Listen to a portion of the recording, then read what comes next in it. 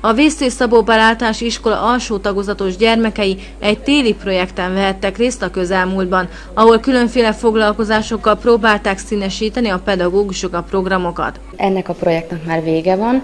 Olyan projektet próbáltunk kidolgozni és kitalálni, amelyek nem órakereteken belül zajlanak, hanem ötvözik a különböző műveltségterületeket, például természetismeret, társadalomtudományok, ez ugye azt jelenti, hogy kapcsolódik a matematikához, az énekhez, a környezetismerethez. Olyan praktikus tevékenységeket próbáltunk kitalálni a gyerekeknek, amelyekkel biztosíthatjuk a tapasztalati élményeket.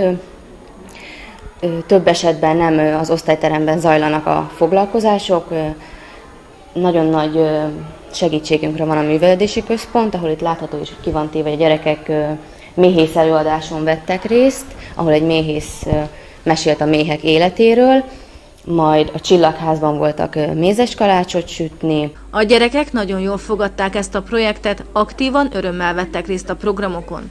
Mm, nagyon aktívan és nagy élménnyel fogadják a gyerekek ezeket a különböző foglalkozásokat, mivel ezek nem annyira kötöttek, szóval nem kell az iskolapadban ülni, hanem ugye kimozdulunk, átmegyünk, sétálunk, nagyon pozitív, és ezáltal nekünk is egyre több nevelési lehetőséget biztosítanak ezek a projektok, és egyre jobban csökken a gyerekek magatartási problémája is. A pedagógusok a szülőktől is pozitív visszajelzéseket kaptak.